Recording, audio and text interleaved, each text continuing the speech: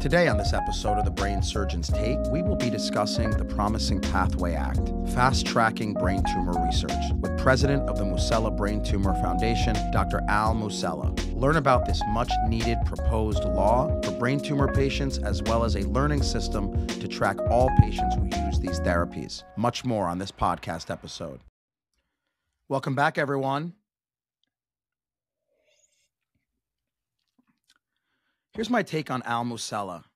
He is someone who has taken life's tragedies and transformed them into positive change.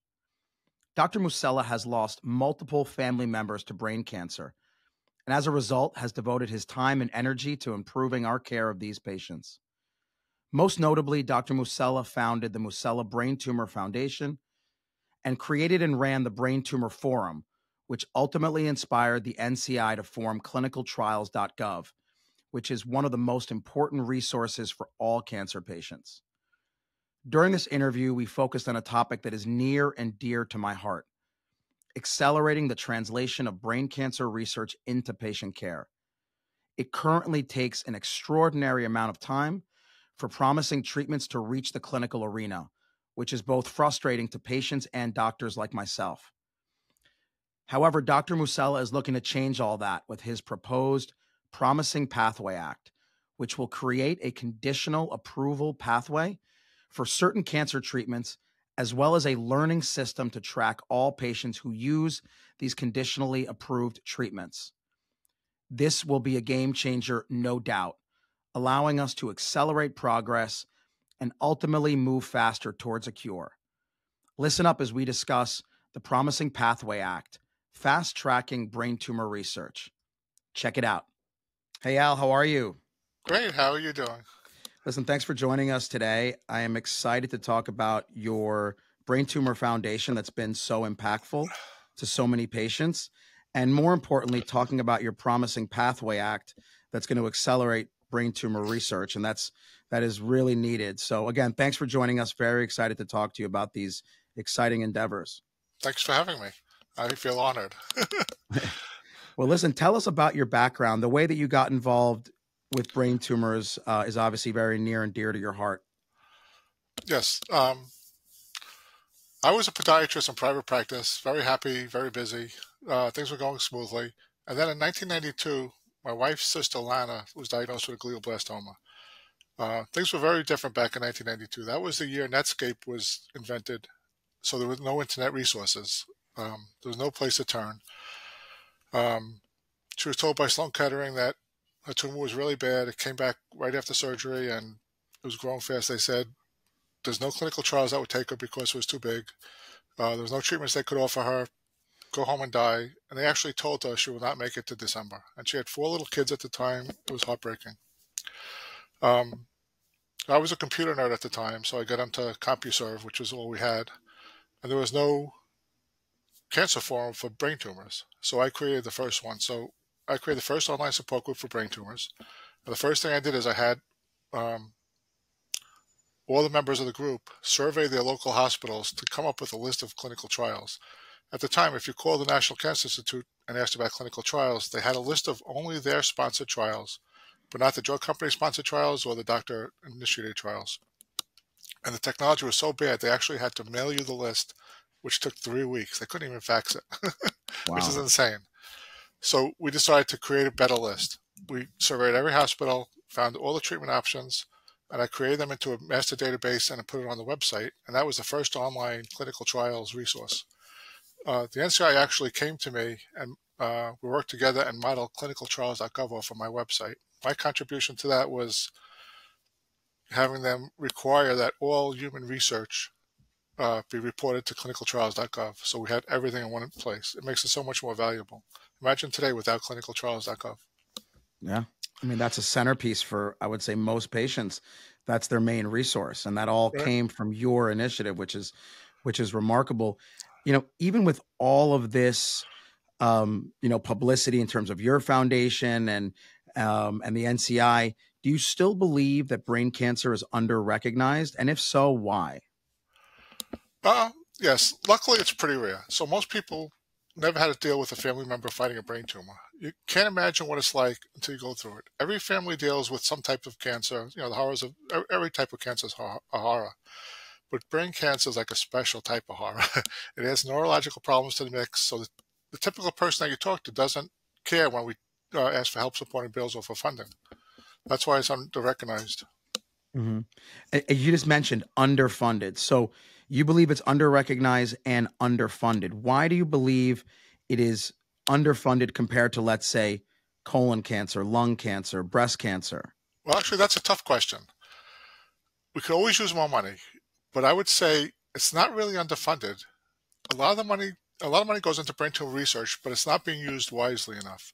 I think we could use new technologies to increase the efficiency so we could do much more with the money we have. Um, I'll get more into this when we talk about the Promising Pathway Act, but a quick example. There's a clinical trial going on right now that's costing the company running at about a million dollars per patient. That's completely insane. There has to yeah. be a way to do this research cheaper on a much larger scale. If it's costing a million dollars per patient, you're not doing that many patients. With brain tumors, you need as many patients as possible to do this research on. Otherwise, we're not basically the number of patients is um, going to determine how much time it takes to find the cure. If we have a large number of patients, it's going to be a shorter time to the cure. It makes sense. But if it's a million dollars a patient, forget about it. We yeah, have to and, be efficient. And it's also a rare condition relative to breast or lung or colon cancer. So, right. like you said, getting numbers is right. critical. And in order to get those numbers, it's got to be affordable. It's also got to be and accessible. Yeah, and accessible. Because only about five percent of adults enter clinical trials for brain tumors. We need 100 percent of the people being followed in a uh, virtual trial. Why do you think so few patients go into clinical trials? Oh, that's easy. Uh, the first problem is geography. Um, I would say the majority of patients don't live within driving distance of a major center that's doing the trials. And then, of the best trials, the ones that I really love, there's only a few centers doing those, so the chance of being close enough to one of those centers is, is tough. Then you have the problem of the entry criteria. Uh, the majority of patients don't hit that perfect little window. Uh, like the better the trial, the, the narrower their eligibility criteria because they're trying to cherry pick the best patients, obviously. But the average patient doesn't qualify. Um, The funny thing is, in the United States, the average survival for glioblastoma is only eight months. But of the last five major clinical trials, the control groups averaged 16 months, which means they're working on a different population than the average typical patient. Um, patients just can't get in. And then you have the problem of the number of spots. Like some of these very good trials have limited, limited number of spots with a lot of patients trying to get into them. So, for example, I don't want to mention which one is my favorite, but my favorite trial uh, I would say I sent about 50 patients to it and like two got in, which is crazy. We need these things open to every single patient who wants them. Yeah, I couldn't agree more. We, we have the same problem here. You've got people that live too far away to come back for the clinical trial, and then the eligibility criteria are way too strict. Uh, tell us a little bit about the Musella Foundation and what your mission is. Okay. We're devoted to empowering brain tumor patients and their family. We provide emotional and financial support and help them navigate the system. We facilitate educational resources, we advocate for the patient's need, and strive to raise funds for groundbreaking brain tumor research. And together we aim to make a difference in the lives of those affected by brain tumors and continue uh, contribute to the advancement of effective treatments. We have like three or four major programs. Let me just outline them briefly. First is funding. We fund brain tumor research. We like to fund early research on new ideas to allow the researchers to gather the data needed to get the big government grants. So it's like getting them started. We also fund access programs. We help fund a few expanded access programs, and we offer a co-payment assistance program to help patients pay for the treatments. Uh, so far, we funded 193 research projects for over $6 million. Wow. And for the co-payment program, we gave out over $12.4 million in grants to help patients get access to treatments. That's like a life-saving program. Um, my dad and my sister-in-law both had trouble with uh, paying for drugs my sister-in-law, she actually lived eight and a half years. We got her on an uh, off-label drug that she was doing fantastic on for about five years, and then her insurance hit its lifetime maximum, and they stopped paying for the drug. So she stopped taking it without telling me, of course. Otherwise, I would have tried to find a way to get it for her. And she had a recurrence and then died. And with my dad, he was diagnosed the same month that Temodar came out. When he went to get the prescription, it was so expensive. Just to give you a strange idea of what hap- what life was like in the 1990s, his drug plan had a $500 per year maximum. Imagine that. And the Crazy. copay was and the copay was like twelve hundred dollars, and he refused it. He said he didn't want. He had the money, but he didn't want to leave my mother penniless. So he was concerned about money at that time. He knew he would never work again. So because both of them had trouble with paying for drugs, that's why I started the copayment program. And most of the patients that we talk to, they won't get their Temodar if we didn't if they didn't have a program like this. And we're the only brain tumor organization that's allowed by law uh, to help Medicare patients because they have these kickback regulations and we got around it. Wow, that's a Um, beautiful thing. Thanks for thanks for setting that up, and what a great gift for those patients. Uh, I want to talk about your most exciting project. Oh, wait, wait. Let me, let me just finish. There's a couple more programs we have. oh, sure, no problem. So we have uh, advocacy. I was involved a lot in a lot of the private and public FDA Medicare meetings over the years, uh, helping to get most of the treatments that we have now approved by both Medicare and the FDA. I'm on the patient advocacy board of the Brain Tumor Center at Duke, the Brain Tumor Spore program at UCLA, and the Northwell Health Brain Tumor program. As well as I, I advise many drug and device companies on uh, patients' perspectives for the clinical trial design. Uh, we help pass many bills, such as the right to try and the one that I'm working on, Promising Pathway. Then we have an educational program. We provide educational materials. I wrote a book called The Brain Tumor Guide for the Newly Diagnosed. Anybody listening can get free copies for their waiting room if they like. Just go to our website and you could read a copy, evaluate it, and if you like it, ask for free copies. Um, we have a news blast that helps keep uh, patients up on the latest news. And then our most important program is we have a patient navigation program.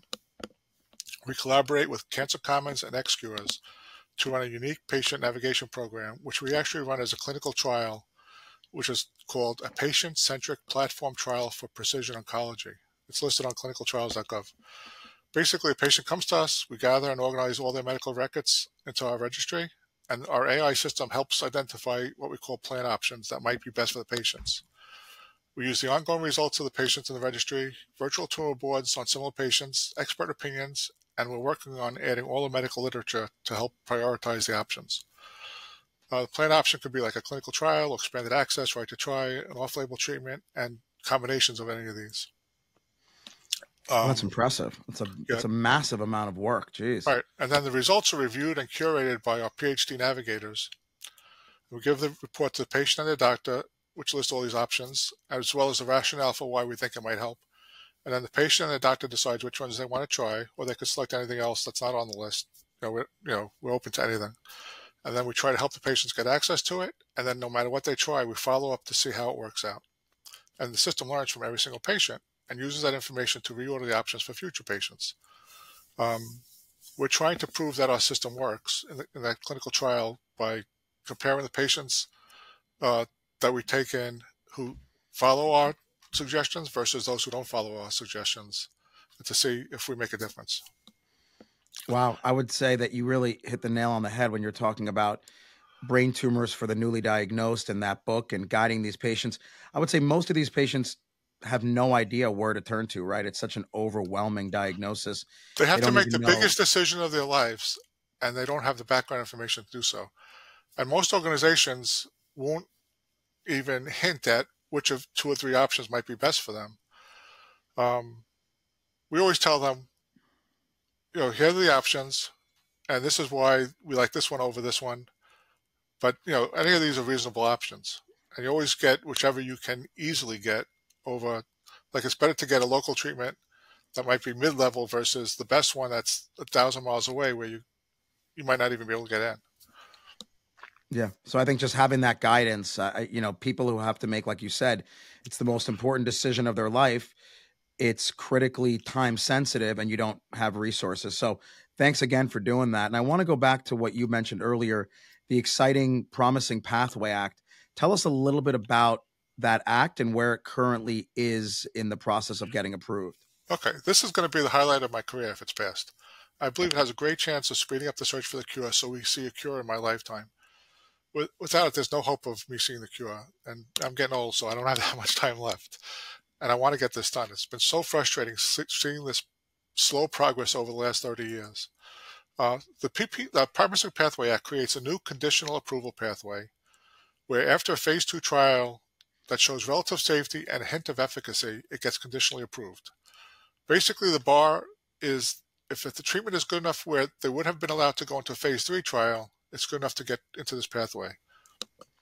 Once approved, any doctor can prescribe it for their patients, although off label use is not allowed, and insurance should cover it. Uh, patients have to undergo informed consent that they understand the treatment did not get full FDA approval yet and agree to hold the doctor and the drug company harmless if there are problems. The risk to the patient is the same as if they're entering a phase three trial, although without the risk of getting a placebo. And I've never had a patient say they were worried about entering phase three trial because of the risk of the drug. If it's choice between dying or taking a shot, they always take the shot. Now, of course, this this pathway is only for very serious diseases with no effective treatments. So all patients who use these treatments, this is the brilliant part of the plan. Uh, all patients who use a treatment approved under the pathway have to consent to participate in a virtual trial registry.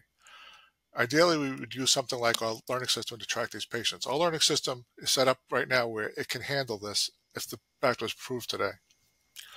Uh, patients will have access to their own medical records, and the doctors and the researchers will have access to live, de-identified data so they can determine which treatments are doing well and which ones are worth trying, which ones are not worth trying, which combinations are being used, and how they're doing. Just because a drug gets conditional approval doesn't mean people are going to use it. If it doesn't have enough evidence, very few people are going to use it. Uh, only ones who are desperate will use it. And then once we build up enough proof that it helps them, then other doctors will start using it more broadly. We're planning that you to have a, a lot of drugs to choose from. So you're not going to be forced into using the same drug just because you have a drug. Like people use Temodar all the time, even on MGMT unmethylated patients, because there's nothing better. We want to have options. Uh, the conditional approval is good for up to eight years, during which time the drug company has to prove the treatment is worthy of full approval.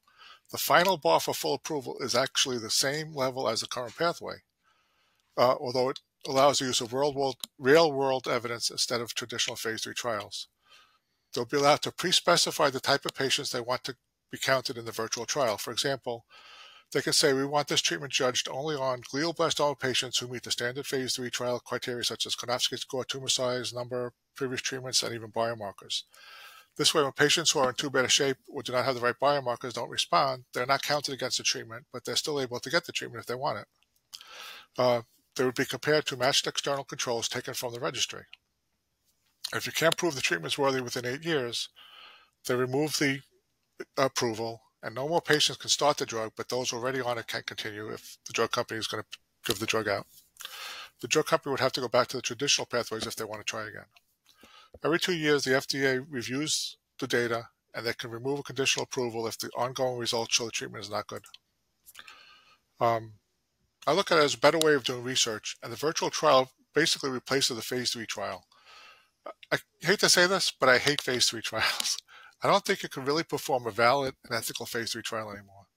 Um, first of all, the patients are so highly selected that they don't even represent the typical patient, as I mentioned before.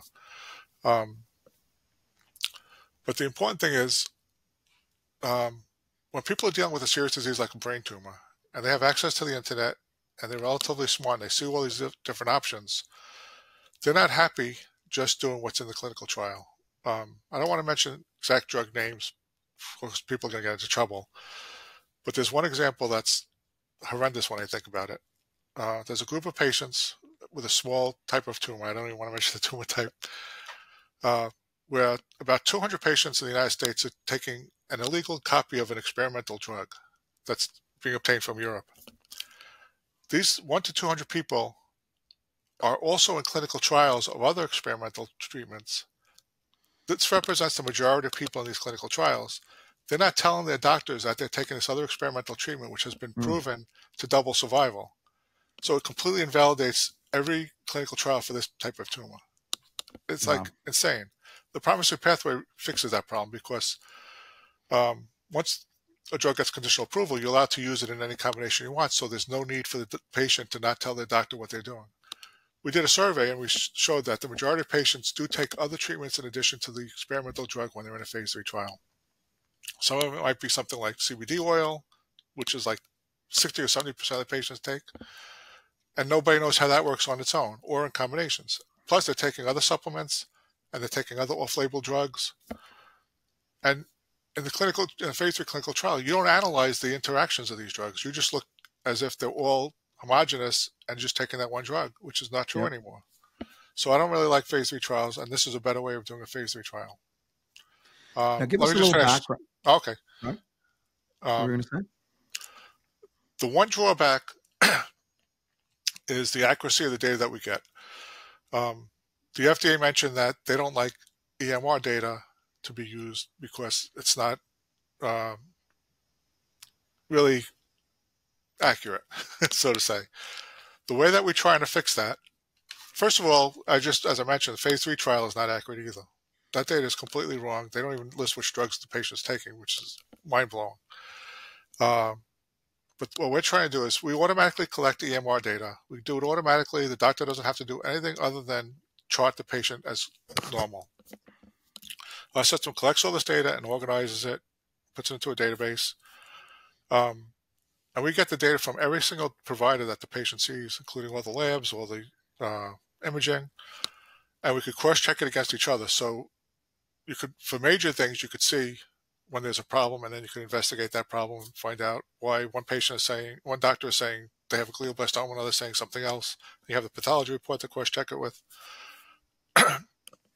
Then we also plan on having uh, the patients verify the data will, the patients will fill out a survey like once a month with uh, patient reported outcomes. But we'll also tell them, look at this data in your portal and tell us if you see anything wrong. So you'll have a couple checks and balances there. And also with the doctors knowing that we're taking their EMR data, I think they have more of an incentive to chart correctly. Because if somebody's looking over your shoulder, you don't want to be found in a lie, basically. Um, so I think that that problem, I think we could have better data than a phase three trial. Uh, we're working on version 2 of uh, 2.0 of the PPA to fix some of the problems that people have had with it, and it's going to be introduced in the next two weeks or so. We have enough senators where I think it's going to pass the Senate.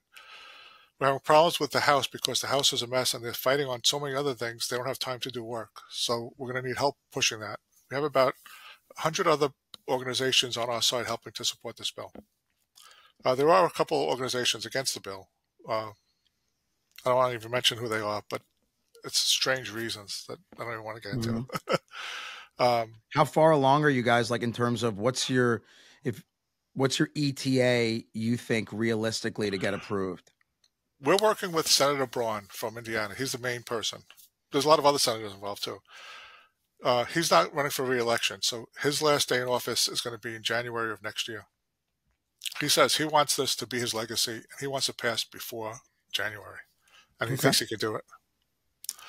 That would be amazing.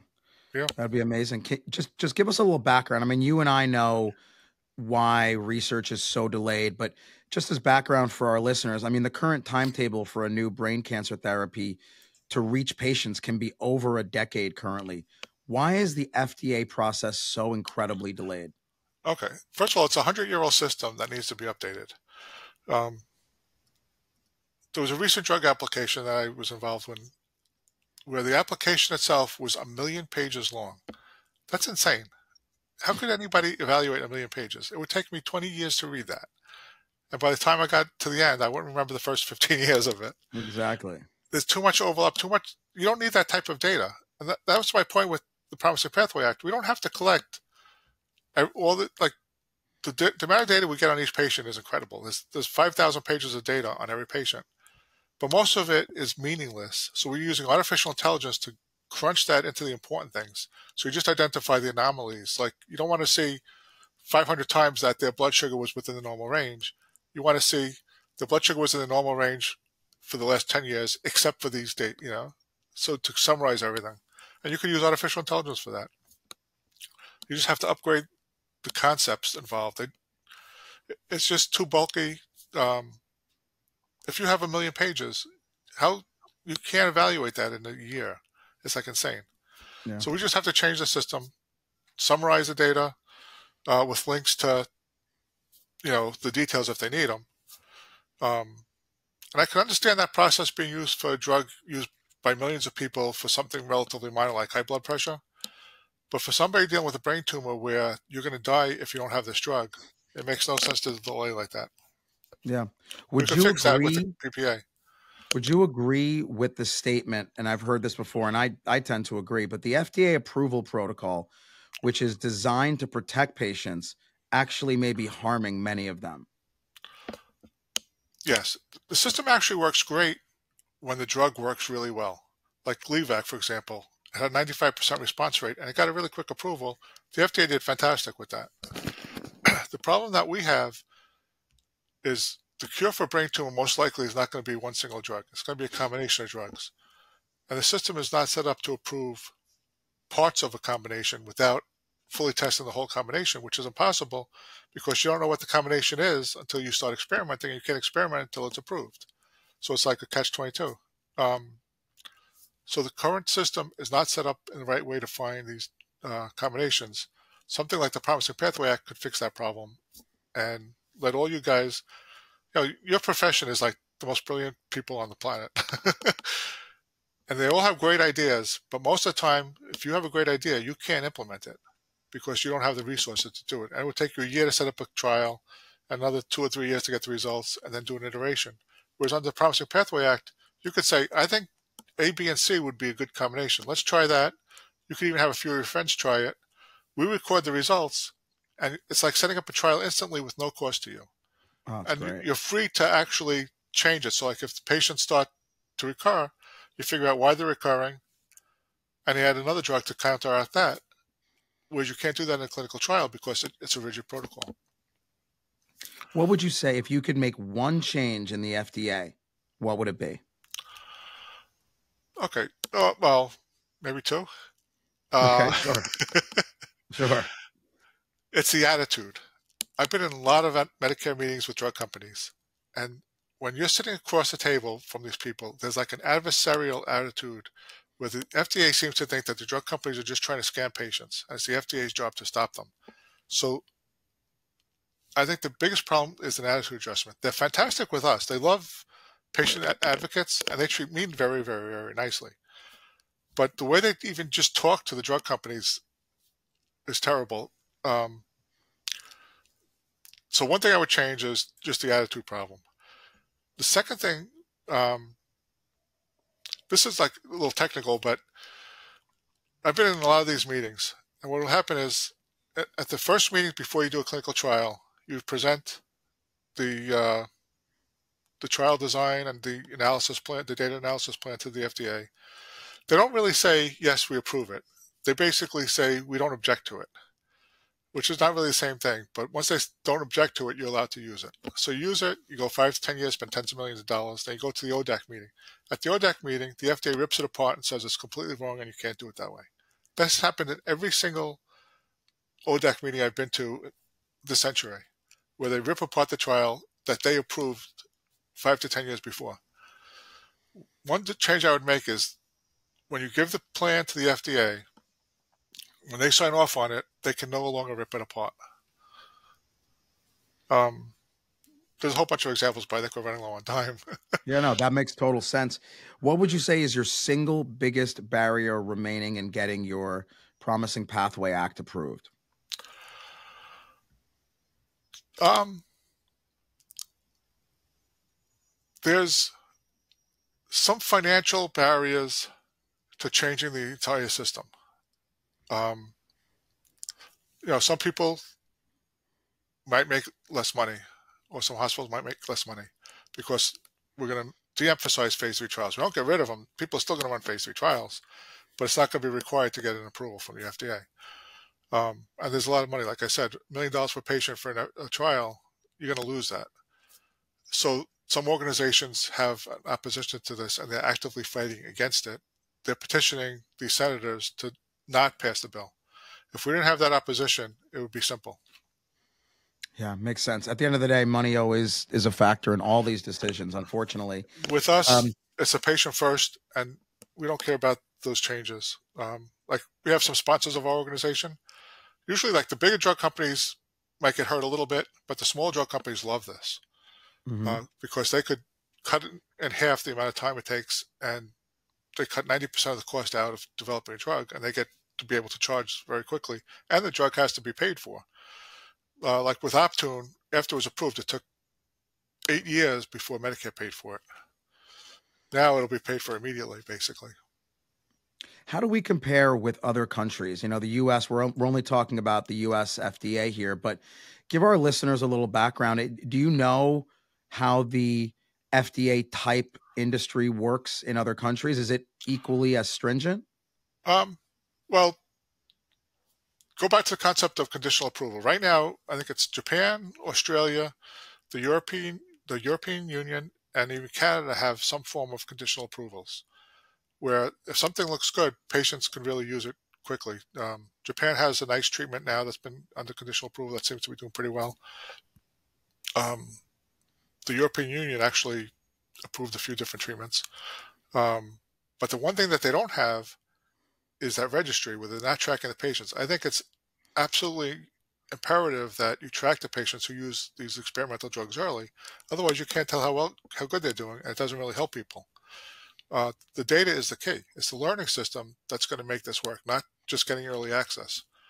So once, if the uh, Promising Pathway gets approved, we'll be number one and we'll be the best system in the world, and other people are going to start using the same model. But for right now, we're behind these other countries. That's so exciting to hear about what this what this act could possibly bring us.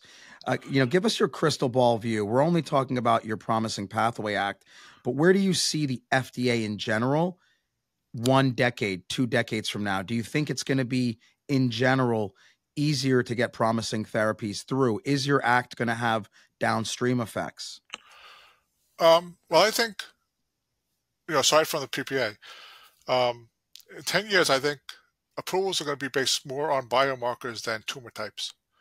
Um, because the more we learn, the more we see that specific biomarkers predict whether a drug is going to work better than telling you what exactly tumor type is. Like saying glioblastoma, glioblastoma is really like hundred different diseases combined, even within the same patient.